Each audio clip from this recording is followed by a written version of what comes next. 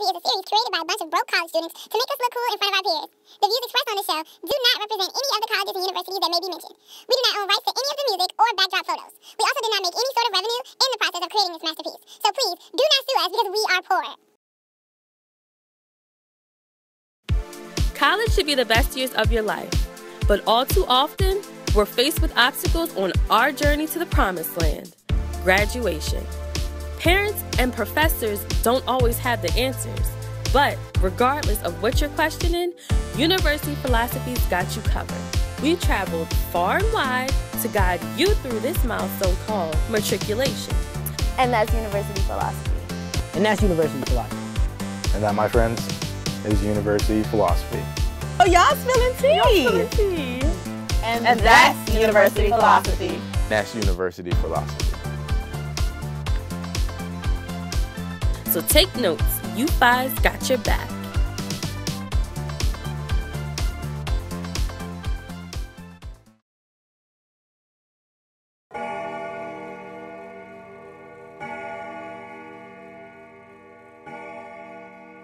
Class is now in session. Today on University Philosophy, we don't always go to class, but when we do, there's a code to abide by.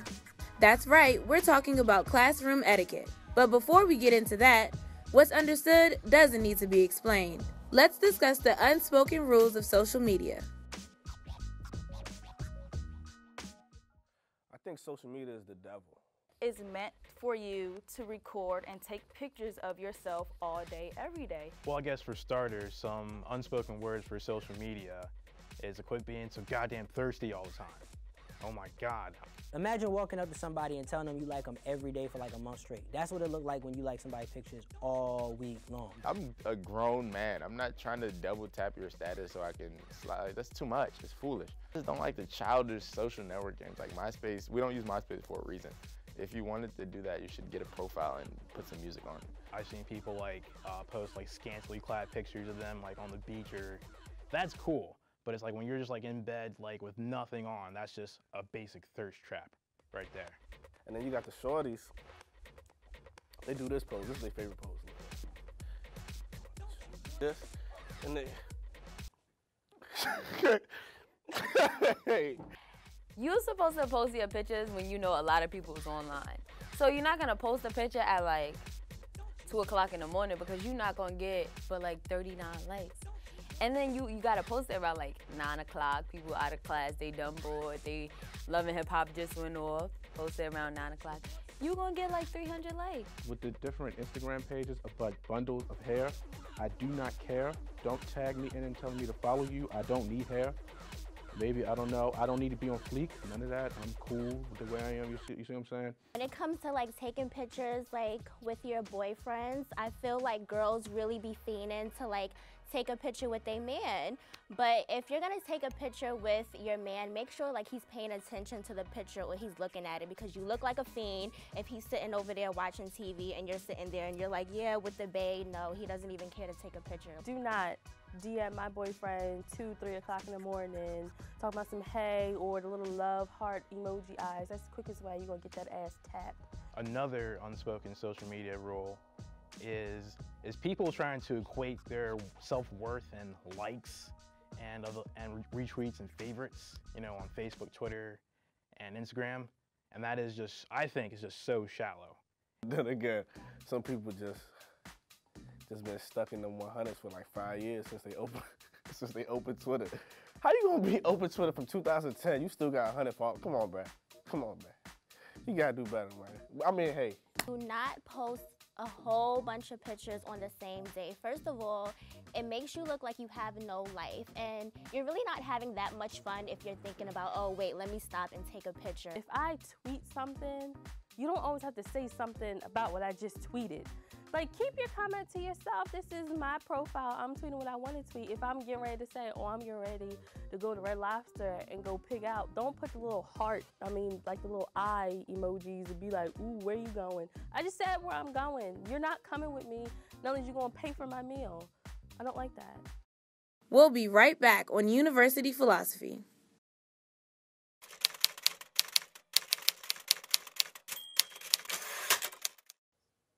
Oh, Actually, that's kind of funny. I did use the purple evil face one time, and I could give you the story behind that. Well, there's this one guy that I used to talk to, and he is a Q. And, you know, they're like, you know, purple's their color. So that was his sign for everything. Like, I mean, I only used the purple devil sign for him. And I, he probably, he took it a little offensive at first, but me, I could care less. You know, that's my phone. So yeah, I use the purple devil face for him. But I don't use the devil that often. You know, I'm not a devilly chick. So I, I try to keep the devil away from my phone in all ways. On Valentine's Day every year, someone's sister or daughter dreams of the perfect date with the perfect guy.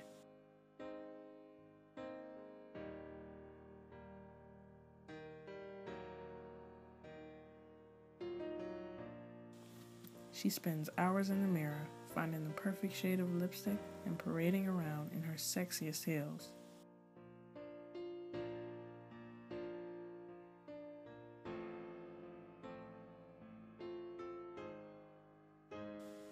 But only to be rejected by someone who refuses to give her the title she deserves.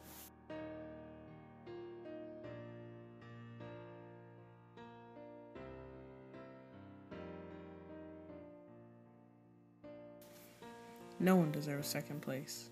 Take the step forward for your dignity. In Side Chick Acceptance.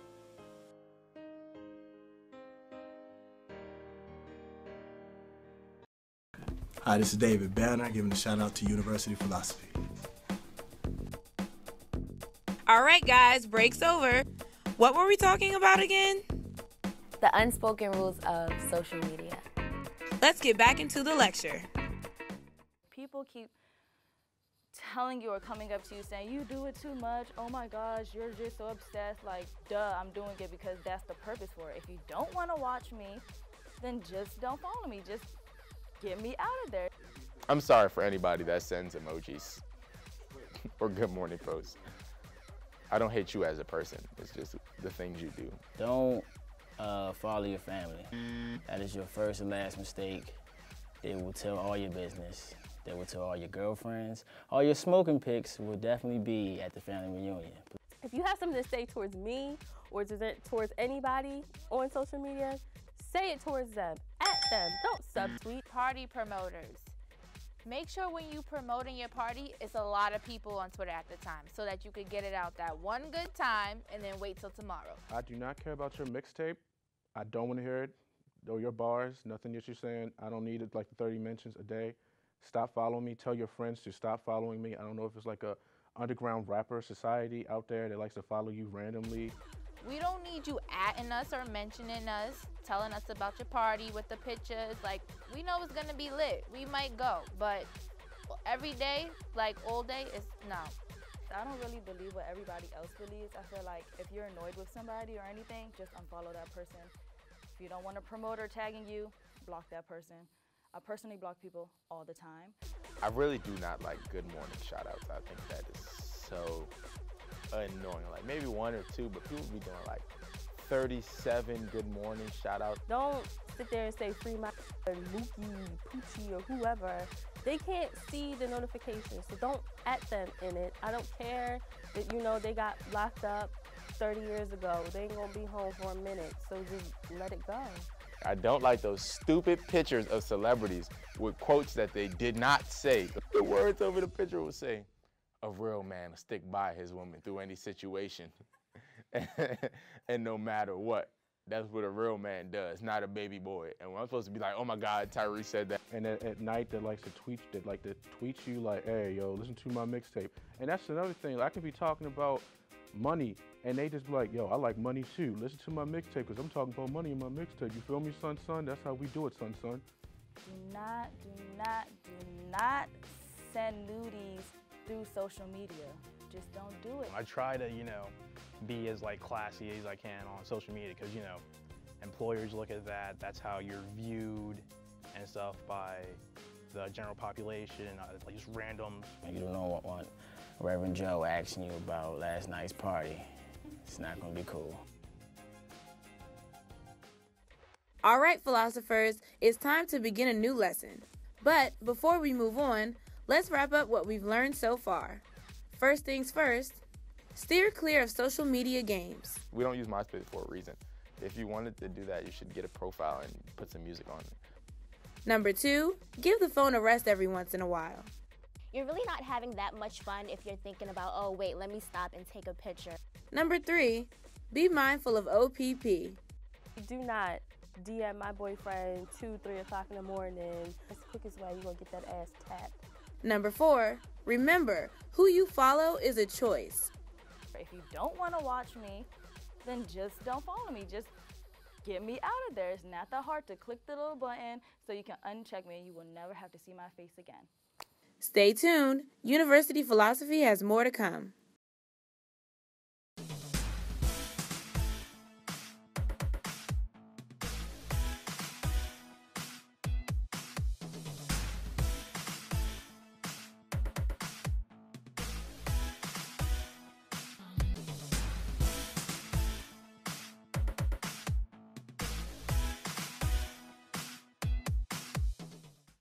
Already know who it is. It's your boy Gardy Swainby here at North Carolina A&T. Just want to give a big shout out to University Philosophy. I'm Peter. I'm a sophomore at Towson University, and you're watching University Philosophy. Peace. This is Marco My Hill. Make sure you watch University Philosophy right here.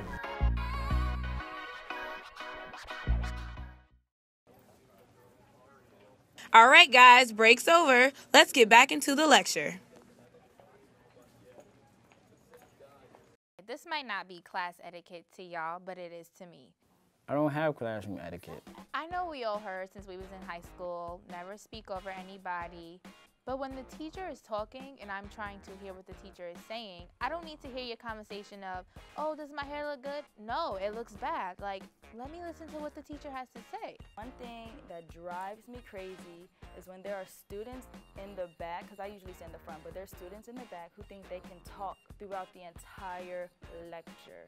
And the professor has to constantly stop just to, you know, tell them to shut up. You don't have to necessarily sit in front of class. You can sit anywhere. It doesn't matter about your seat. As long as wherever you're sitting, you're able to grasp what's being given by the professor. If you know I sit somewhere every day, I should not come into the classroom and see you in my seat because, like, I sit there every day. As soon as you get instructions, just do it. Just listen. That's all you have to do is just listen. I like when people ask questions that I personally don't want to ask because sometimes like you don't always feel comfortable to always raise your hand because everybody's looking at you. But you don't want to be that person that's always asking a question. Like, shut up. You don't have to kiss the professor's ass like raising your hand every five seconds or repeat after them. The like the excessive nodding. That that stuff is not necessary. Non-traditional students typically just they're like ultra super teachers' pets, and it's kind of annoying. We don't need to raise our hand. We're in college. Like, just speak. You all like, like we don't we don't need to do that. I really can't stand like goody two shoes type of students. Like always raising a hand, always want to ask questions. Like, yo, sometimes just chill. Don't act like you know everything when you don't. When like it's four or five minutes left in class and the students decide that it's time to pack up while the professor is still teaching. Like one that's really disrespectful, the fact that this person is just giving their time of day to teach you what you need to know to get better, you know, to have a better future. The teacher talks about nothing the entire class period. Like you had nothing planned for us to do. You're talking about a book that we read for homework. Obviously we already know. Like you're just talking about nothing. That that's really annoying. Let me go home. Why am I here? I mean, this is college, so you know, you're literally like uh, flushing money down the toilet. Don't move. University Philosophy will be right back.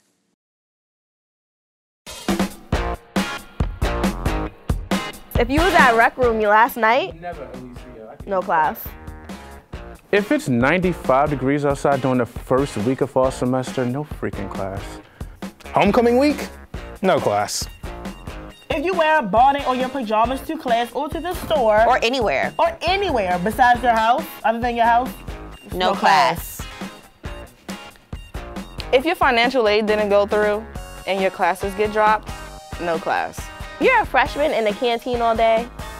You have no class and you need to get your life together and go to class.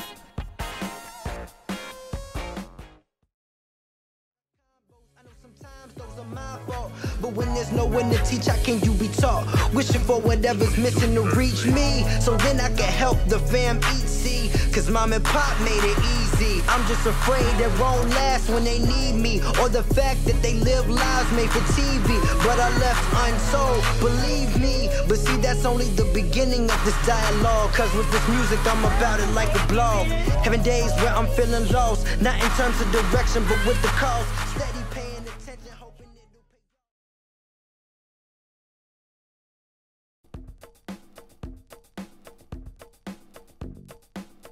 And we're back on University Philosophy. What were we talking about again? Classroom etiquette. Let's get back into the lecture. I hate that girl or that boy who always comes to class and always needs a pen or a pencil. Like, girl, where's your supplies? Like, really, really loud girl who always wants to argue with the teacher. And like she she's always wrong, but she chooses to argue teacher. Like, uh, professor, I didn't turn in my chapter five assignment, so can I turn in next week? And the professor says no, and then she starts just wilding in the middle of class. Like, this is Com 370, can you chill? I hate it when people chew their gum obsessively, like you're chewing like a cow. You keep- And because um, And that one kid who always asks for gum. That's me, but Try to be on time. I've seen too many times where people like come in 30 minutes late for a 15 minute class. Like, why? Come on, why even bother coming in at that point? look, man, I'm late unless the class that I have next is next door. And I'm still probably gonna be like 35 seconds late because I'm gonna go to the bathroom. One thing I hate is when you come in late, then you come in late looking like a bum, like you just rolled in with your pajama pants or whatnot. But you got a Gucci belt on with polo pajama pants on for. The number one thing that everyone should abide by in class is to take a shower. Geez, I mean, like we're in college, right? So you think that'd just be common sense, but apparently it isn't. You're 18, so now that you're now that you're a grown adult, you get grown man stink. Okay, you can't get away with that. We as humans need to make sure that we eat before we go to class because the worst thing in the world is when your stomach is growling in class. First of all, it's embarrassing. It happens to me all the time. Like the classroom is quiet and your stomach just start making crazy noises. Sometimes you be trying to play it off and like cough and move things in your bag, but it's just it's just not good. And please, my God, don't sit next to me if you have bad breath. Like, I don't know what the thing is. We don't brush our tongue anymore. We come from the turn up last night, or no, it could be 3 o'clock in the afternoon. hey, did you get the notes from last class? No, you need to go back home and brush your teeth. Like, I hate that. You're gonna melt my face off. I don't know, people go too far with styles in classroom. Like, please, and don't have to dress like a hoe to get attention in class. I'm just saying, just, just be, you know, just be cordial. Like, I mean, just dress appropriate. You know what I'm saying? Nobody, nobody trying to look at your nipple rings. Ladies, you look fine. Nobody's worried about anything. Um, just focus on your studies. Just because you wear a suit doesn't mean that you know you're better than everyone else, or you're gonna be automatically better than everyone else. Okay, wearing a suit just means that you have a suit. If you really want to be better than everyone else, write great papers. Lead the classroom discussion. one more thing. I hate teachers that try to be funny. We don't care about your story. It's 8 o'clock in the morning. Hey, we be in class, everybody's all quiet, and someone swears they're funny. So they say this asinine joke. That was a big word. Do not take selfies in class. It's just chillax, relax, be cool. Well, philosophers, that's another one in the books. But let's review our notes on classroom etiquette before we end today's lecture. Number one, keep side conversations to a minimum. I don't need to hear your conversation. Let me listen to what the teacher has to say. Number two, it's not that complicated. As soon as you get instructions, just do it. Just listen. That's all you have to do is just listen. Number three, be on time. I've seen too many times where people like come in 30 minutes late for a 50 minute class. Like, why? Come on, why even bother coming in at that point? Number four, come prepared. We as humans need to make sure that we eat before we go to class because the worst thing in the world is when your stomach is growling in class, it's just not good. That's all we have for today, students. Be on the lookout for episode two.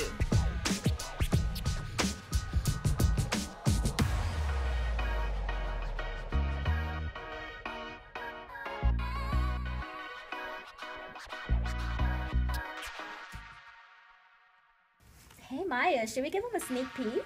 I don't know, Cam. Should we give him a sneak peek? So, India, should we give them a sneak peek? Ready, three? Hey, um, Take three. Cam just asked, should we give him a sneak peek? Let's give him a sneak peek.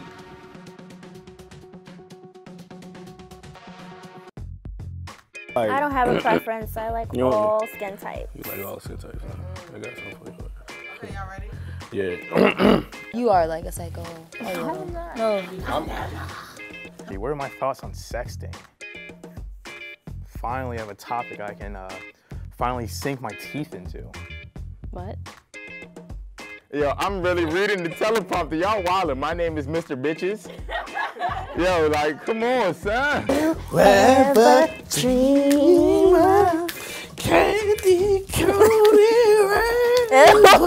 Dancing. If I'm paying for something, I should be able to come whenever I feel like it. I know I'm in college and that's what you're supposed to do and I'm paying for this, but if I get an email saying class is canceled, I'm so hyped. Like, Son, that's funny, son. That's not corny. That's funny. Calvin, I've heard your jokes. You, the, your jokes are trash.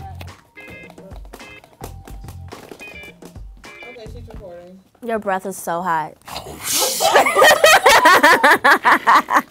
I'm just joking. It was actually pretty cool. If I want to send you a picture of my butt, I'm gonna send you a picture of my butt. Like, Like if a girl sends me a nude over Snapchat, I'll never screenshot. You know, like screenshots are so unwelcome. Not even gonna, not even gonna go there on your show.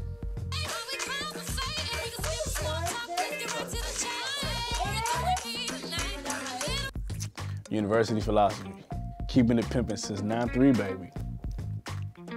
Sheesh. I'm not feeling this. What? Is it my light? Let me see. Oh, see? Ladies. I'm a big user of the um, emoji with the like you laughing so hard that you crying. Ways to get on the block list. If you keep texting me, block. If you keep texting me and then you text question marks because I didn't text you back, block. I was just saying that is a reason. Possible reason. If you post me as like your woman crush Wednesday, that's bae. You're watching University Philosophy.